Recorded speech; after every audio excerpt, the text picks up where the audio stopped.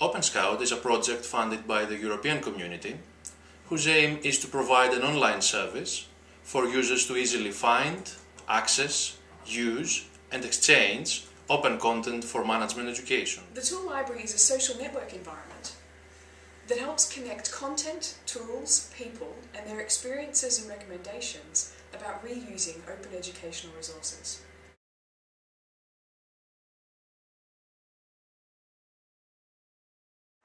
A proposta desta publicação é vivenciar a coaprendizagem, na qual pesquisadores, educadores e aprendizes podem construir recursos educacionais abertos.